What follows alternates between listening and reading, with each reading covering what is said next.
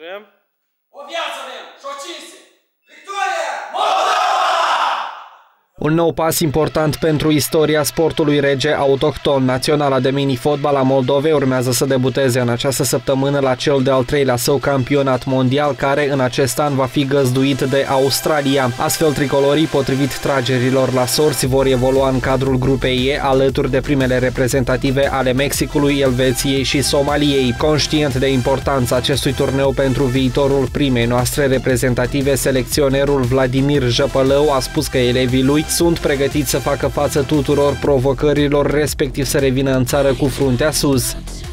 Aș sper, în primul rând, să facem meciuri bune acolo, ceea ce înseamnă să ieșim din grupe, dar după deja vom analiza fiecare adversar în parte și vom pregăti meciurile pentru fiecare adversar.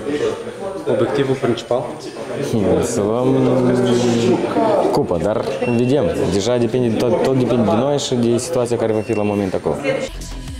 Un lucru confirmat și de internaționalii Vadim Kravcescu și Oleg Shishkin.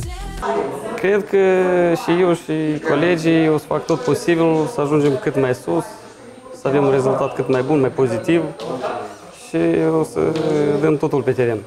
Я думаю, это очень будет интересный турнир, много команд, которые туда приезжают, сборных. Это просто будет интересно посмотреть, на что мы способны на самом деле.